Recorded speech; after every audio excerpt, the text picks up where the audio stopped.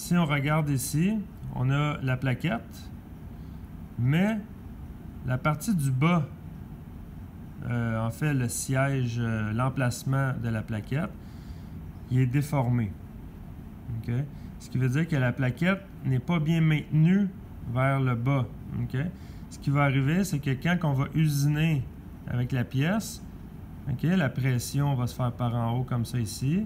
S'il y a un jeu, un espace en bas, la plaquette va mordre, va se déplacer sur son emplacement, puis en fait va sortir, ça peut briser la plaquette, briser l'outil et euh, faire sortir la pièce du mandrin.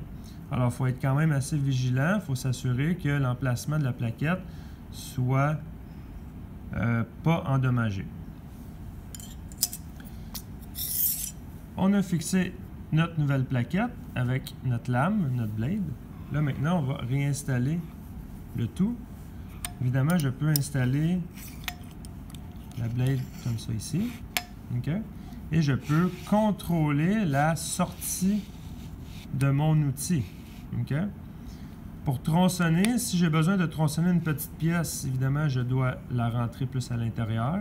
Si je dois tronçonner une grande pièce de grand diamètre, je peux sortir plus loin, justement pour avoir assez d'espace pour tronçonner au complet.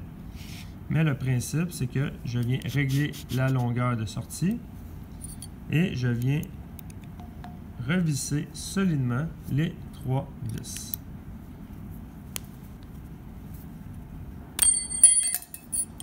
Excusez.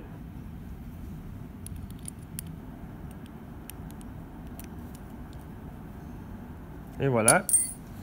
Mon outil est maintenant